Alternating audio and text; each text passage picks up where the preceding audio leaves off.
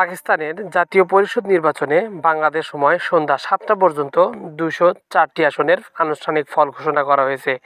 এর মধ্যে সাবেক প্রধানমন্ত্রী ইমরান খান সমর্থিত স্বতন্ত্ররা সবচেয়ে বেশি আসন পেয়েছেন বলে জানিয়েছে খবর জিও টিভির। জিও টিভির তথ্য অনুযায়ী স্বতন্ত্র প্রার্থীরা পেয়েছেন সাতাশিটি আসন, যার বেশিরভাগই ইমরান খান সমর্থিত। নওয়াজ শরীফের পিএমএলএন পেয়েছে ষাটটি আসন। আর এক প্রতিদ্বন্দ্বী পিপিপি পেয়েছে পঁয়তাল্লিশটা আসন। বাকি দলগুলো পেয়েছে মোট বারোটি আসন।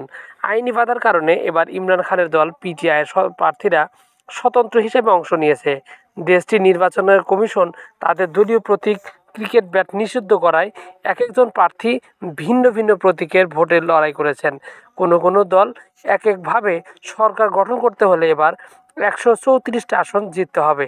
তবে বিশ্লেষকরা বলছেন, নির্বাচনে এবার কোনো দল নিরঙ্কুশ সংখ্যাগরিষ্ঠতা নাও পেতে পারে।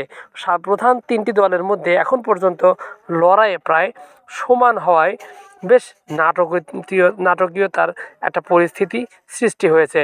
শেষ পর্যন্ত কে সরকার গঠন করতে পারে তা নিয়ে এখনও বিশ্লেষকরা কোনো পূর্বাভাস দিতে পারছেন না। নির্বাচন কমিশনের তথ্য অনুযায়ী আর একষট্টিটি আসনের ফল ঘোষণা বাকি আছে এখনও আর একটি আসনের নির্বাচন এখন পর্যন্ত স্থগিত করা হয়েছে।